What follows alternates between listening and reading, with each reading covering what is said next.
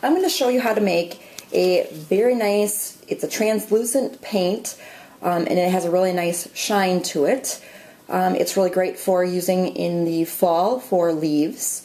Um, otherwise it works really good for Valentine's Day. All it is is using a light corn syrup and you use one to two tablespoons of the corn syrup and you mix in any form of your food colorings to create um, just your paints. So you set out different cups and they all have different colored paints in them.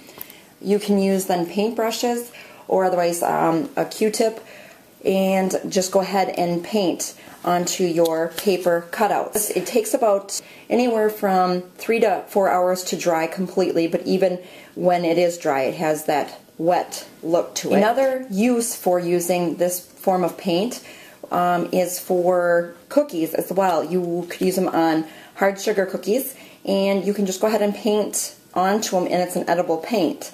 So that's how easy it is.